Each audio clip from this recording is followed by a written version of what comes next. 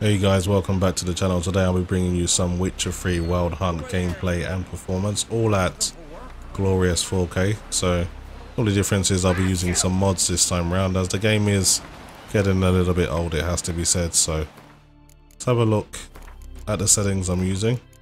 I'm playing at a resolution of 3840 by 2160. NVIDIA Hairworks is enabled at Ultra with the highest level of anti-aliasing. Um, everything else is at ultra as you can see. I'm using a high quality texture pack which is a bit higher than the uh, vanilla. So I'll put a link to the description for all the mods and the files that I'm using. I think it's called the Rework HD texture pack. Motion blur is disabled as I don't think it adds anything to the game especially when you're playing it over 60 FPS. Um, for sharpening I've got that on low as well. This doesn't have a bearing on performance. It's more of a filter with um, how strong you want it to look. And I believe when you put it too high it makes the game a little bit too cartoonish in my opinion. Everything else is enabled as you can see. So The Witcher 3 what an amazing game. One of my favorite games of all time it has to be said. Visually stunning well optimized and just an amazing amount of detail and work that went into this game especially with the uh, expansion that just added uh, so much more content to the game as well um, one of the best games I've ever played, it has to be said now. Um, I remember when I first played this game, I had uh, Intel i7 3770 non-K and uh, GTX 980 playing at 1080p and I was barely getting 60 FPS, so to be playing at 4K over 60 FPS with a single GPU, um, it's one of those moments where I can say I finally made it, so I'm definitely enjoying the experience. So let's get on with the game now. I'm um, trying to stay away from the main missions, of course, so let's just see what I can do for this guy. Listen, Witcher. Got us some Muire D'yaeblen. You know, drowners. Real problem. The kind your silver sword could most certainly solve. Let me guess. They're tearing your nets, devouring your fish, and attacking the occasional lone boatman or tavern patron who walks home along the shore. Were that the only harm? Terrors in the bay are meaner than on the continent. They hunt come dusk or dawn. Attack fishermen wielding just oars and warriors alike. Sea tosses them up after. Armor shredded, guts devoured. Strange. Any witnesses? Rurik, my apprentice. He was on a boat the Muire D'yaeblen attacked. There's Tove, too. Her man was killed. She lives nearby, up a bit. Sorry. None other comes to mind. Those who see the beasts, meet him, well, they generally don't come back to dry land alive. So you can haggle with the price a little bit, but I'm quite intrigued, so I'll just take the job. I'll take the job. Dealt with drowners many times. It'll soon be over. Got my word on that.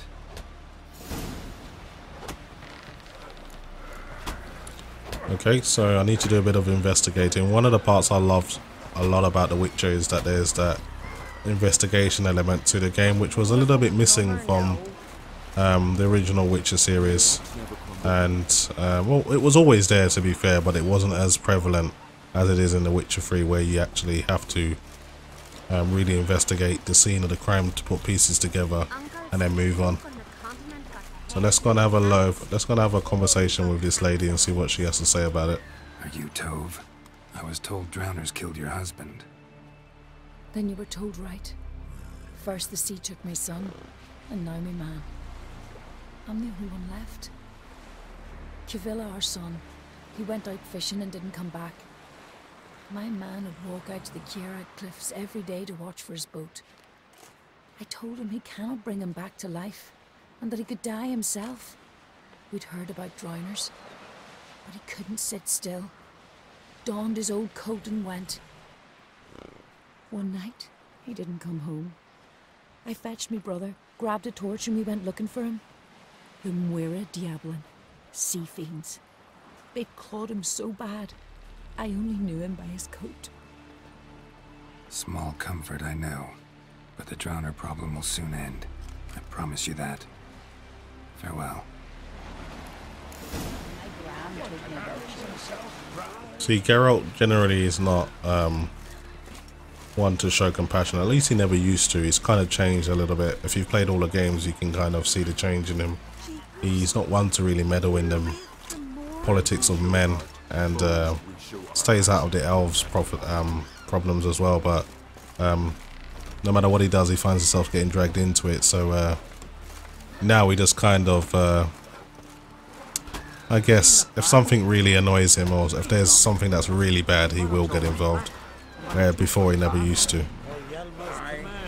Okay, so I've got to speak to this guy's apprentice. He knows a little bit about the, the situation as well. I think it's that guy over here. Have a quick word. Rurik, right? Heard you were on a boat the drowners attacked. Aye, I was. With Ulf, my cousin, gathering our crab traps off the Kjerrig cliffs. Ulf was pulling up a line, having a hard time of it. grand, I thought. Cage has got to be full, it'll be a good haul. Then something tugged back and down. Weren't a blink and Ulf was underwater. Called after him once, twice, thrice. Then the water went red with blood. And I smelled something horrid. Rotten, but worse. And the Muire D'yaeblen flipped the boat. Don't even know how I made it ashore. Must have had Freyr watching over me. That, or the monsters had eaten their fill. Thanks for the story. Okay, so I've gathered enough information to kind of move out my own now. It's kind of funny how all the people in Skellige sound Irish. And uh, I guess it kind of adds the fact that they're on the continent or it's just like a different, completely different people from people from in Oxenfurt and Novigrad and Velen and um, places like that. So let's just call Roach just to save a little bit of time. Come on Roach, get your ass over here. But yeah, the game is still visually stunning. I know the CPU usage is quite low, but when you enter a town full of NPCs like. Um, Oxenfurt or Novigrad, then things quickly change. So it's good to have a CPU that's ready for anything. People with uh, quad cores and um, I don't think there are any Ryzen CPUs without SMT, but if you do find yourself in that situation with just four cores, you may struggle in the, the more populated towns. Um, but generally, um, the game outside the city is quite easy to run, or quite uh, forgiving on the CPU, should I say. Oh, almost forgot to mention, it is worth, definitely worth checking out the new Witcher series on the Netflix. Now, I was quite skeptical of how they would adapt the game into a series. I know the game, I know the actual Witcher series is adapted from a novel, but we all kind of draw we draw all our kind of memories from the games in particular in my opinion so we're going to be doing my, most of the comparisons to the game rather than the novel and I think uh, so far they've done a really good job six episodes in I don't want to give anything away but I think they've done a really good job with it the choreography for the fighting the cast for Yennefer and uh, uh, Geralt in particular even Dandelion is really really good let me just take care of these drowners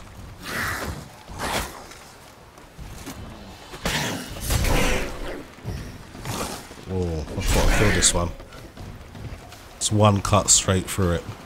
So yeah, I mean, I think they've casted uh, the the cast very well. I mean, a lot of people were complaining about you know the appearance of some of the cast, but you got to put acting and budget into it as well. You can't always have um, a like for like person for every character that you're gonna cast. So so far they've done good. Ciri, drowners for sure. Ciri's been casted pretty good as well, and most of the elves that I've seen. So I'm, I'm happy with it. I'm definitely enjoying it so far. The only issue I have, there's only eight episodes, so that kind of sucks. But apart from that, it looks really, really good. So there is a stench that I need to follow. Hmm. Let's have a look around. So for those of you who don't know, Geralt is a Witcher, which essentially is a mutant that's been uh, mutated to have uh, special abilities like brilliant sight, brilliant sense of smell, brilliant hearing, and um, really, really quick reflexes, um, which ultimately does make him a really, really dangerous person. So uh, I'm just gonna follow this this smell. Don't know where it goes. Let's keep swimming this way. But I'm very, very happy with the performance of the game. With uh, my system at the moment. Easily doing 60 frames per second, which wasn't always the case. Um, let's quickly try running up here.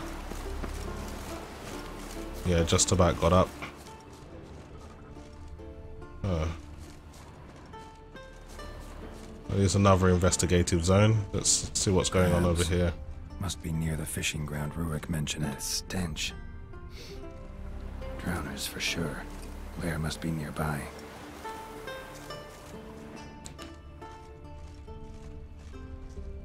So there's got to be a lair around here somewhere. You kind of got to follow this red mist. It's kind of the... It's basically a manifestation of Geralt's uh, sense of smell. So you can kind of follow it to where it leads. And it seems like it leads to that cave. So let's go.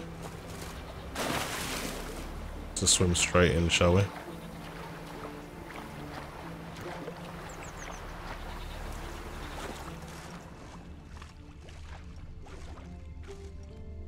Yeah, let's just follow it in. Stench again. Slime and rotting flesh. Yeah, it's got to be in here. There's uh, a body there, I think. Yep, this is definitely where it's going down. That's a shame.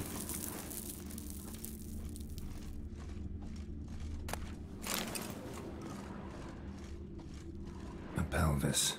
Scratched up. Long, wide claw marks.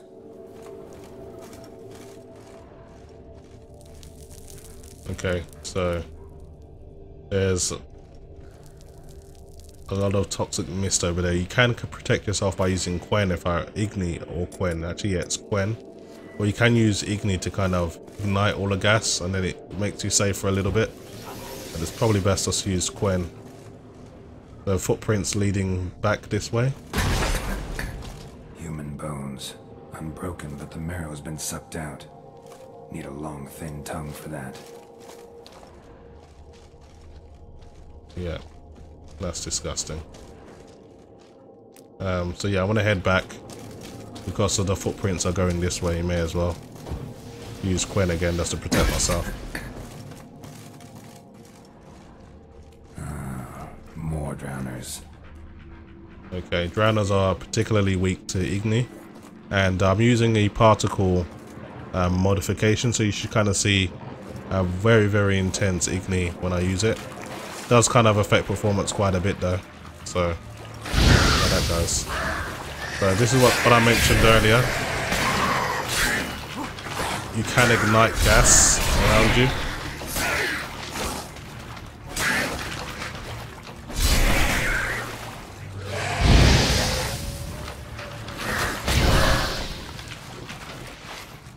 They weren't really too challenging. I think there's one more left over there somewhere.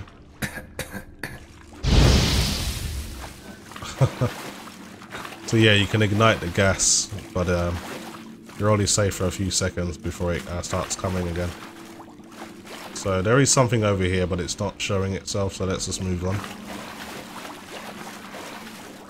A monster's Blood lair. here. But definitely not a drowner's. Bruises on his neck. Crushed larynx. Strangled. Yeah, there's a lot of bodies around here. I'm gonna drink some potion because my health is getting quite low. The potions that the witches drink are mainly fatal to uh, humans because the level of toxicity is way above what a normal human could handle, but due to their mutations, they can handle it. Bits of boats, torn sails, lines. Sailing decor, you could call it. Okay.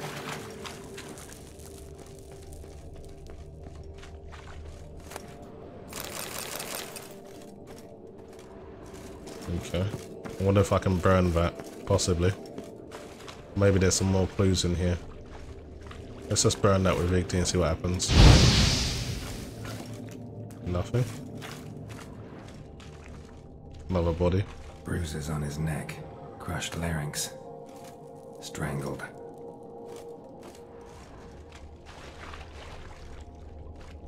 Almost untouched. Hidden for later. Drowners just don't do that. That stench, the marks on the bodies. This must be a water hag's lair. Got a keen Okay. sense of smell. She won't come back while I'm here. Unless... She coexists with drowners. Maybe I could make an extract from their glands cover up my scent. Okay, so I gotta prepare this potion. So pretty sure I've got one already prepared, but I'm just gonna make another one anyway, just in case.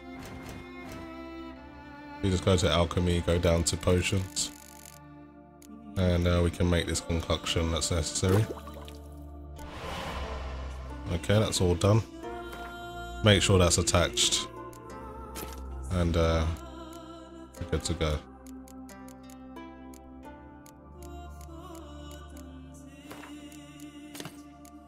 Okay, that will do it. That should do it. Now for a place to hide and wait. Behind those boats. Okay, let's do it.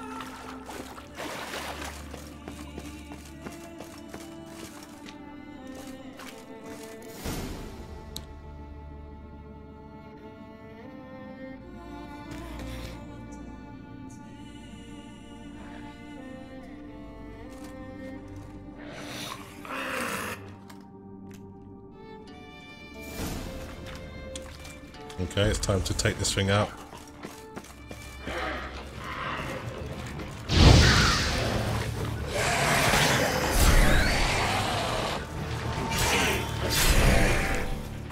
Okay, now it's just me and you.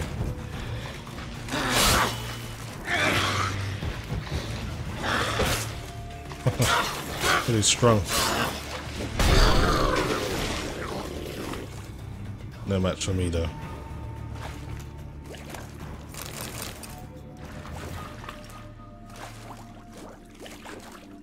Collect our monster remains.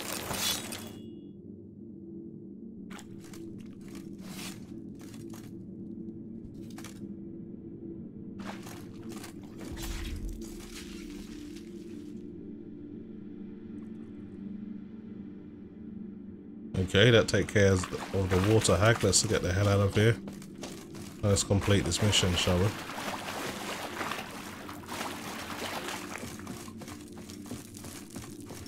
It's kind of almost upsetting that there's never going to be another Witcher 3, another Witcher game, because they've actually completed uh, the novel. But um, it would really be nice to, I don't know, maybe a remake, a remake of number one with uh, updated graphics. That could be interesting. I wouldn't be, I'll definitely buy it. And uh,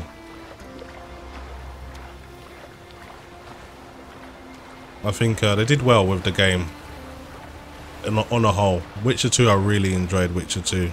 Witcher 3, the best out of the lot, but number one, I think it was good for the time. But of course, um, with the dated graphics, it's kind of hard for people who've missed it to enjoy it as much. So a remake would be nice. Let me just call Roach and uh, get back to town. But yeah, nice, very nice. Finally played the game at uh, 4K 60 FPS. No compromise on the quality. It's just an amazing game. Some games um, play well at 60 FPS uh, or high resolutions. Um, this game, it's not one of those games that you need a really, really high refresh rate to enjoy. You can just enjoy all the detail. Um, with a game like this at 4K, it really does stand out. Put the sword away as I don't need it.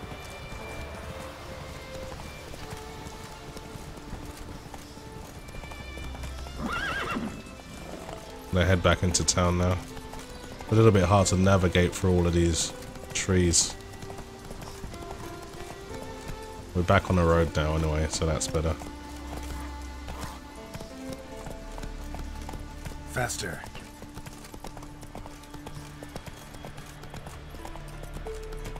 Right, back to civilization.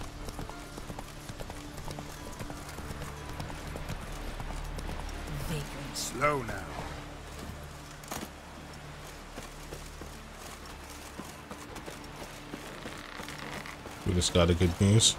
Job's done. Here's the proof. Now, why would I want to see... What the devil is that? Water hag. An old, clever one. She was the danger. Seen a lot of ugly critters in me life. Morays, lampreys, blobfish. But never nothing like this. Your reward. Well earned, Witcher. Well earned. Thanks. So long.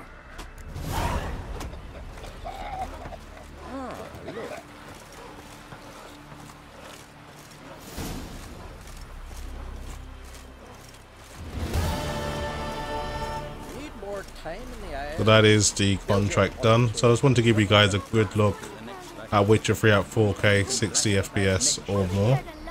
And uh, I've definitely enjoyed it. Hopefully you guys have enjoyed the video. And as always, thanks for watching.